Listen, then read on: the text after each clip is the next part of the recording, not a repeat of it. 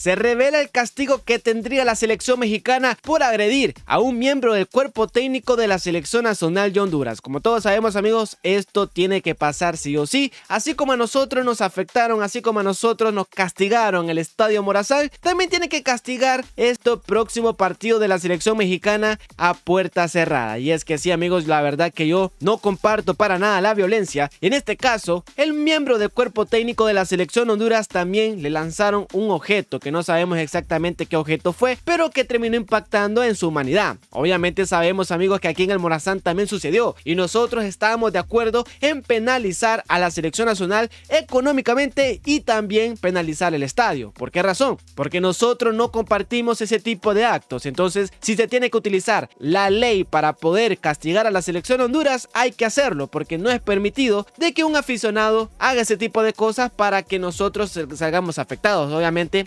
espero que el aficionado aquí en Honduras que hizo eso, pues también tenga que pagar porque no es justo de que por un mono paguen todos los que fueron al estadio. Entonces, esperamos amigos, obviamente las autoridades puedan hacer su trabajo. Si bien es cierto, también allá en el estadio de Toluca se comportaron muy bien, pero obviamente por unas pocas personas que estaban ahí, pues terminaron siendo afectados todos, así como nosotros nos sentimos afectados por una sola persona. Entonces yo sé que muchos mexicanos estaban de acuerdo en no hacer lo mismo, porque saben de que pues a quien le termina afectando es a la selección azteca. En este caso, pues estas personas que estaban ahí terminaron lanzando un objeto que terminó pues impactando sobre el, el miembro del cuerpo técnico y finalmente la CONCACAF y la FIFA van a tomar cartas en el asunto económicas y cerrar el próximo estadio para la selección mexicana. Así que bueno amigos, déjenme ustedes en los comentarios sus respectivas opiniones correspondientes al tema y realmente si estás de acuerdo con que penalicen a la selección mexicana, ya que yo sé que mucha gente va a estar como que no, que no sé qué, que ellos lo hicieron primero. Yo sé que aquí en Honduras se hizo primero, pero nosotros no estamos para nada de acuerdo siendo catrachos. La verdad que nosotros tenemos que estar de acuerdo de que se tiene que castigar ese tipo de cosas. Y yo sé que tal vez muchos mexicanos estaban con el plan de no hacerlo porque sabían de que era mejor comportarse de buena manera, pero obviamente sabemos que hay personas que no están capacitadas para entender de que a quien le perjudica ese tipo de actos es a la selección local. Entonces, obviamente sabemos que pues es difícil explicarle a tanta gente. Pero sí, aquí en Honduras se penalizó y la selección mexicana también se va, a ir penalizada. No sé por cuánto dinero, es cierto que a la selección mexicana se le puede sacar mucho más dinero,